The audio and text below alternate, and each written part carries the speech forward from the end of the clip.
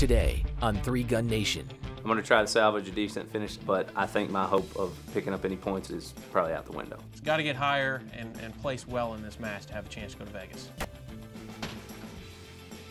Three Gun Nation today at 4:30 p.m. Eastern. The Blaze broadcast of Three Gun Nation is brought to you by White Hat Holsters, gun gear for the good guys. Visit whitehatholsters.com.